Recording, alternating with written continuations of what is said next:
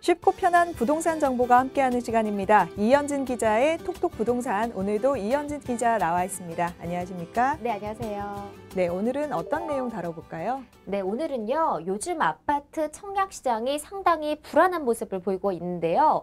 이런 가운데 내 집 마련을 위해서 청약에 넣고 당첨이 돼도 무효가 되는 부적격자가 속출하고 있다고 합니다. 가장 큰 이유가 청약 자격에 적합한지 제대로 확인하지 않았기 때문이라고 하는데요. 그런데 이 부적격자가 되면 당첨은 물론 사용하던 통장도 쓸 수가 없게 됩니다. 어떤 점들을 주의해야 부적격자가 되지 않는지 오늘 자세하게 살펴보도록 하겠습니다. 네, 몇십 대 일의 경쟁률을 뚫어도 부적격자가 되면 청약이 무효됩니다. 오늘 톡톡 부동산에서는 왜 부적격자가 생기는 건지 또 자신이 부적격자인지 아닌지 확인하는 방법까지 알아보도록 하겠습니다. 우선 최근 아파트 청약 시장 열기부터 확인해 볼게요. 이 기자, 2017년 첫 달입니다. 분위기가 어떻습니까? 네, 그렇습니다. 정유년 새해 첫 달을 맞이하고 있는데요. 지금 분양 시장을 이제 정확하게 말씀을 드리면 전반적으로 분위기가 좋지 않은 상황입니다. 어, 원래 1월은 비수기이기도 하지만 여러 가지 악재들이 겹치면서 분양 시장이 좋지 않은 모습을 보이고 있는데요. 지금 곳곳에서 청약 미달 단지들이 나오고 있습니다. 사실 지방에서는 청약 미달 단지가 굉장히 많았는데 지금 서울에서조차 대형 평형 위주로 미달 단지들이 속출하고 있고요. 그리고 양극화도 심해지는 모습을 보이고 있습니다. 그러니까 잘 되는 단지와 그렇지 않은 단지들의 양극화가 굉장히 심해지고 있고요.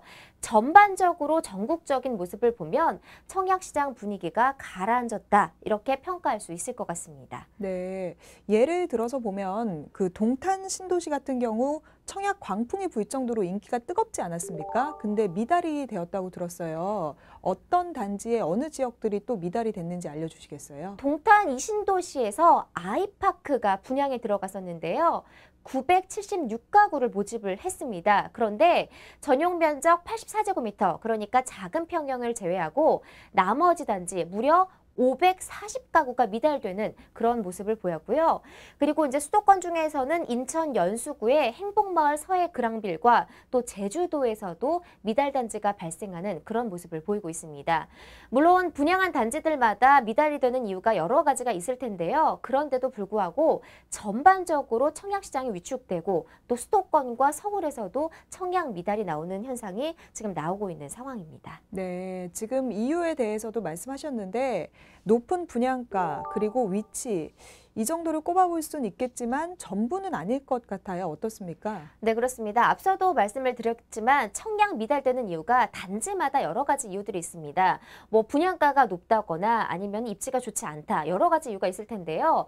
그런데 전반적인 현상입니다. 그러니까 청약이 잘 되는 지역도 예전과 비교해서는 청약 경쟁률이 거의 절반 가까이로 떨어졌는데요. 이렇게 분양시장 전반적인 전체의 침체 이유는 개별 단지 이유보다는 정책적인 측면이 크다고 볼 수가 있을 것 같습니다. 어, 지난해 정부가 이 청약시장 과열을 방지하기 위해서 113 부동산 대책을 내놨었죠. 그 부동산 대책에서는 청약 규제를 억제해서 투기 과열을 방지하기 위한 여러 가지 대책들이 나왔는데요. 그로 인해서 청약 시장이 분위기가 그 다음부터 가라앉았다 이렇게 볼 수가 있을 것 같습니다. 어, 특히 지금 이제 문제가 되는 게 올해 정유년 새해 1월부터 대출에 대해서도 규제가 들어갔습니다. 그래서 작년에는 부동산 대책만 나왔지만 올해 1월부터는 중도금하고 잔금 대출 규제가 들어가기 때문에 아파트를 사려고 할 때 대출 받기가 더 힘들어졌습니다. 그래서 전반적인 이런 악재로 인해서 분양시장 전체가 흔들리고 있는 것으로 지금 파악이 되고 있습니다. 네, 정부가 수요를 제한하면서 경쟁률이 급감한 것으로 풀이가 되는데요. 좀 더 자세히 살펴보도록 하겠습니다. 이 대출 규제가 큰 영향을 아무래도 미친 것 같습니다. 이 돈을 구할 길이 없으니까 청약을 하기가 힘들지 않겠습니까? 일단 정부에서 이 대출 규제를 한 이유가 있는데요. 가계부채를 억제하기 위해서 내놨습니다. 왜냐하면 지금 가계부채가 1,300조 원을 돌파할 정도로 굉장히 높은 수준으로 치솟고 있는데요. 그런데 이 가계대출 증가의 가장 큰 요인이 부동산 담보 대출입니다. 그래서 부동산 시장을 정부에서 억제하게 된 건데요. 그런데 이 대출 규제를 하면서 여러 가지 문제가 생겼습니다. 일단 1금융권에서 대출을 받는 경우가 많은데 이 1금융권에서 막히면서 어 이제 이 수요자들이 2금융권으로 넘어가게 됩니다. 그런데 2금융권에서는 1금융권보다 더 높은 금리로 적용을 받아서 대출을 받게 되면 부담이 일단 커지게 되고요. 또 더 높은 이자 부담을 져야 하는 상황이 되기 때문에 수요자들이 아예 내 집 마련을 포기하게 되는 거죠. 또 올해부터 잔금 대출에 관해서 여러 가지 규제가 들어갔습니다. 어, 일단은 아파트 대출을 받을 때 여러 가지 대출 형태가 있는데 잔금 대출을 못 받을 경우에는 아파트 원리금을 갚기가 어려워집니다. 그리고 이번에 정부부터 올해 1월부터는 어, 그동안은 이제 아파트 이제 이자만 갚다가 나중에 원금을 내는 방식이었는데요. 1월부터는 처음부터 원금하고 이자하고 같이 갚아야 됩니다. 그래서 수요자 입장에서는 더 내야 될 돈이 한 번에 더 많아지기 때문에 상환 부담이 커지고 있죠. 그래서 아파트 내 집 마련하기가 더 어려워진 상황이라고 볼 수 있을 것 같습니다. 네, 높은 금리와 상환 금액이 큰 부담으로 작용한 것 같습니다. 이 외에도 어떤 이유가 청약 시장에 찬바람을 불게 했을까요? 네, 이외에도 여러 가지 악재들이 있습니다. 일단 정부에서 부동산 대책을 통해서 부동산 시장 을 옥죄했고요. 그리고 대출 규제도 적용을 했습니다. 이 외에도 경기 부진이 있습니다. 지금 경기가 저성장 기조를 이어가- 이어가면서 경기가 좋지 않은 상황인데요. 그만큼 부동산 경기도 하락하고 또 앞으로의 전망도 좋지 않은 상황입니다. 그렇기 때문에 앞으로 부동산 값이 오르지 않을 거라고 예측한 수요자들의 심리가 하락해서 결국은 청약 시장으로 어, 수요가 감소했다라고 볼 수가 있고요. 어, 그리고 또 지난해 연말부터 계속해서 부동산 시장 과잉 공급이라는 얘기가 계속해서 나오고 있죠. 어, 지난해와 그 작년 이렇게 몇 년 동안 아파트들이 굉장히 많이 공급이 되면서 올해 연말 내년부터는 공급 과잉이 심해질 거다. 아파트 값이 그로 인해서 떨어질 거다. 이런 전망들이 많기 때문에 이를 우려한 수요자들이 많, 많을 것 같습니다. 그래서 아파트 값이 떨어지게 되면 굳이 지금 아파트를 살 이유가 없기 때문에 수요자들이 관망세로 돌아선 것으로 보이고요. 그리고 또 하나가 금리 인상입니다. 미국이 금리 인상을 발표하면서 지금 우리나라도 금리를 인상할 수밖에 없는 기조로 가고 있기 때문에 그렇게 되면 문제가 대출을 받을 때 금리가 올라가게 된다는 거죠. 이렇게 여러 가지 이유들로 인해서 청약 수요가 감소했다라고 볼 수 있을 것 같습니다. 네, 또 가계부채 위험성이 커지고 있는 것도 영향을 미치지 않습니까? 사실 지난해까지는 대출 규제도 어, 정부에서 적용하지 않았고 집을 사는 장려하는 정책을 많이 폈습니다. 그런데 이렇게 되면서 문제가 된 게 가계 부채가 급격하게 증가했고 지금 정부에서 경고 단계라고 인식할 만큼 굉장히 가계 부채 위험성이 높아진 상황입니다. 그래서 빚을 내는 거에 대한 경각심이 굉장히 커진 상황이기 때문에 이런 것들이 결국은 여러 가지 심리 위축으로 이어져서 청약 시장을 더 위축시켰다고 볼 수가 있을 것 같습니다.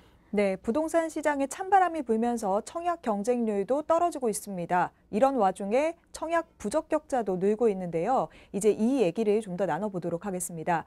부적격자, 그 수가 어느 정도 됩니까? 어, 부적격 당첨 비율이 얼마나 늘었나 봤더니 15%에서 30%가량으로 증가했다고 합니다. 그렇다면 113 대책 이전에는 얼마나 됐나 살펴봤는데요. 통상 7%에서 8% 비율의 부적격자가 나왔습니다. 그러니까 두 배, 세배 이상가량 높은 수의 부적격자가 늘어난 건데요. 이렇게 부동산 대책 이후에 지난해 연말부터 올해 초까지 부적격자가 계속해서 늘고 있는 상황입니다. 네, 좀 더 자세히 알아볼게요. 어느 단지에 부적격자가 얼마나 생긴 건가요? 일단은 부적격자가 비율이 나타나는 단지들을 좀 사- 자세하게 살펴볼 필요가 있을 것 같은데요. 일단 서울에서 분양한 단지가 있습니다. 삼성물산이 레미안 리오센트 1순위 청약 결과를 발표를 했는데요. 당첨자가 146명이었습니다. 146명 중에 부적격자 비율이 판정이 난 비율이요. 22% 무려 32명이 부적격자로 판정이 됐습니다.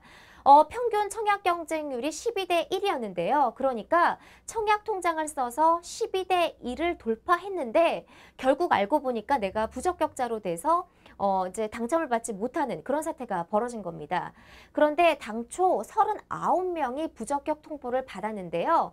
7명은 관련 서류를 제출을 해서 소명을 받았다고 합니다. 그래서 7명을 제외한 32명은 부적격자 판정을 받으면서 당첨이 전면 취소되는 그런 사태가 벌어졌다고 합니다. 네, 12대 1의 경쟁률을 뚫고도 당첨이 취소되는 이런 상황이 벌어지고 있습니다. 어느 단지가 또 그렇습니까? 네, 서울에서 분양한 또 다른 단지도 부적격자가 높은 것으로 판정이 됐는데요. 지난해 연말 분양한 단지가 있었습니다. 현대산업개발이 풍납동 잠실 올림픽 아이파크를 분양을 했는데요. 어, 그 뷰를 살펴봤는데 당첨자가 92명이었습니다. 그런데 부적격자가 13명으로 나타났습니다. 14%의 부적격자가 나타난 건데요. 그런데 이 청약 경쟁률도 10대 1이 넘었는데 이 10대 1을 뚫고 당첨이 됐어도 부적격자로 판정이 나서 13명이 당첨이 무효가 되는 그런 사태가 벌어졌습니다.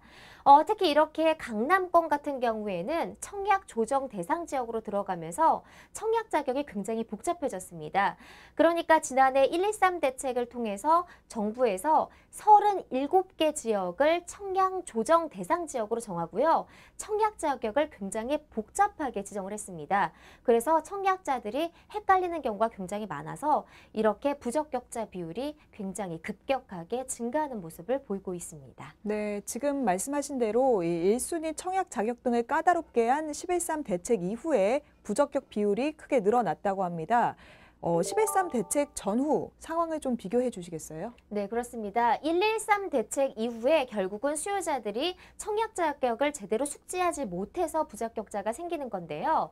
어, 지난 10월 300대 1이 넘는 청약 경쟁률을 기록한 서초구 잠원동 아이파크 리버뷰가 있었습니다. 그런데 이 부적격자 비율이요. 당첨자가 3명이었습니다. 그러니까 전체 7% 수준이었다는 거죠. 그러니까 113 대책 이전에 7%였던 것이 113 대책 후에는 15%에서 30%로 급격하게 늘어났다라고 볼 수가 있을 것 같습니다. 네, 아, 차이가 정말 꽤 나네요. 그럼 어떤 과정을 통해서 부적격자로 판정이 되는 겁니까? 일단은 아파트 청약을 하게 되면 여러 가지 순서가 있습니다. 뭐 청약자를 발표하고 당첨을 하고 또 예비 청약자 뭐 이런 여러 가지 순서들이 있는데요. 그 중에서도 당첨자를 발표한 다음에 어 이제 심사를 거쳐서 부적격자 의심 명단이라는 게 공개가 됩니다. 그러면 해당자는 통보가 되는데요. 부적격자가 됐습니다. 라는 사실을 통보를 받게 됩니다. 그런데 이 사람이 어, 내가 부적격자가 됐는지 안 됐는지를 소명을 해야 되고 입증을 해야 됩니다. 그런데 부적격자가 아니라는 사실을 여러 가지 입증을 하게 되면 다시 당첨이 되지만 그렇지 못할 경우에는 부적격자로 확정을 받아서 계약을 포기해야 되는 그런 상황이 벌어지죠. 네, 그럼 이번에는 가장 중요한 질문 한번 드려보겠습니다. 이제 11.3 대책 전후 상황이 다르기 때문에 그 달라진 점을 알아야 내가 부적격자인지 아닌지를 판단할 수 있을 것 같습니다. 달라진 점 설명을 해주세요. 네, 그렇습니다. 바뀐 제도를 잘 숙지해야지 이제 부적격자를 예방할 수 있을 텐데요. 일단 가장 먼저 주의해야 되는 게 재당첨 제한이라는 게 생겼습니다. 어, 예전에는 당첨이 된 적이 있어도 일정 기간이 지나면 청약을 할 수가 있었습니다. 그런데 이게 제한이 된 건데요.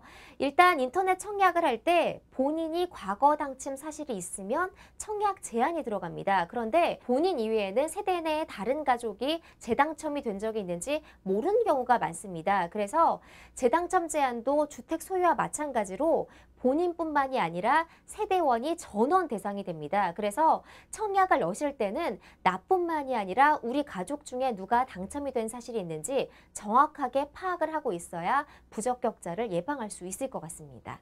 네, 본인뿐만 아니라 배우자 등 세대원 중에서 당첨됐던 사실이 있는지 꼭 확인하시길 바랍니다. 그럼 재당첨이 될 경우에 바로 당첨이 취소되는 건가요? 네, 그렇습니다. 또 다른 그리고 이제 제한들이 있는데요. 과거 5년 이내에 당첨 사실이 있을 경우에도 1순위 청약이 전면 금지가 되고요. 그리고 한 번 당첨이 되면 앞으로 5년 동안 다른 아파트에도 청약을 할 수가 없습니다. 어, 이 제한을 걸어놨기 때문에 이 제한에 걸려도 부적격자로 판정이 나게 되는 거죠. 네, 또 그리고 집을 한 채라도 가지고 있는 유주택자에게도 청약 문이 좁아졌다고요. 네, 그렇습니다. 어, 이제 일 1주택자에게는 분양 물량의 40%에 대해서 청약 통장의 가입 기간 등으로 인해서 점수를 매기게 되는데요. 그래서 청약 가점제라는 게 있는데 여기에 신청을 하지 못하게 됩니다. 그런데 1주택자도 무주택 기간 점수만 없을 뿐 분양가, 부양가족 등에서 점수가 나오기 때문에 가점제로 청약이 가능했는데요. 그런데 이 가점제 신청자는 가점제에서 탈락하더라도 60%에 대해서 추첨에 한 번 더 당첨 기회를 갖기 때문에 당첨 확률이 더 높습니다. 그리고 이주택자는 1순위에서 아예 제외되도록 그렇게 정부에서 규정을 한 상태입니다.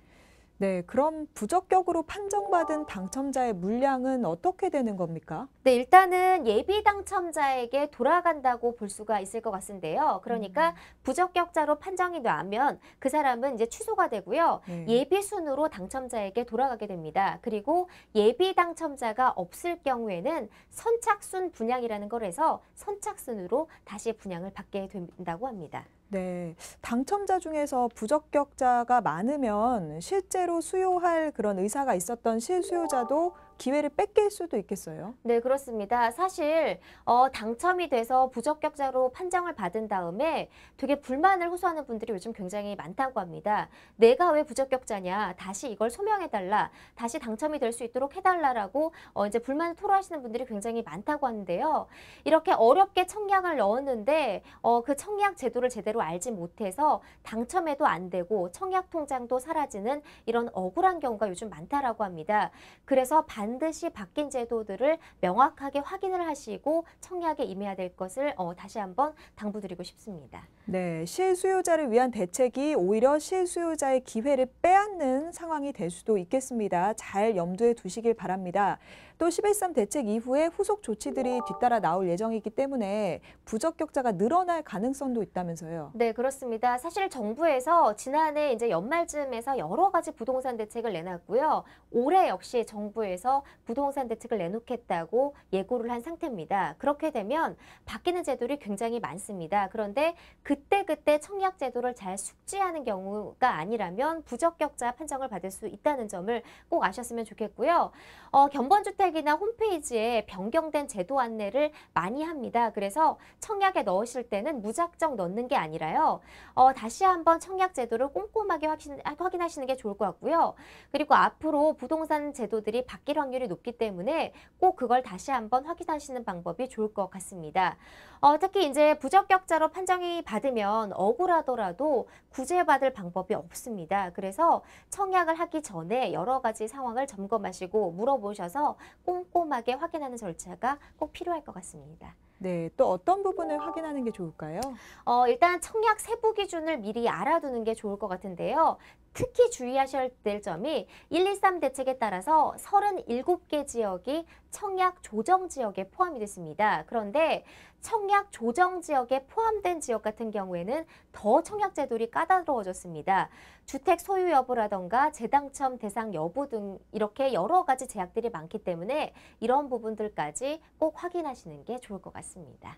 네, 오늘 톡톡 부동산에서는 최근 늘고 있는 청약 당첨 부적격자에 대해서 이야기 나눠봤습니다. 미리 내용 확인하셔서 당첨이 취소되는 일 없도록 하셔야겠습니다. 오늘 전해드린 내용은 참고만 하실 뿐 절대적인 기준이 아님을 알려드립니다. 톡톡 부동산 여기서 마칩니다. 이현진 기자 고생하셨습니다. 고맙습니다.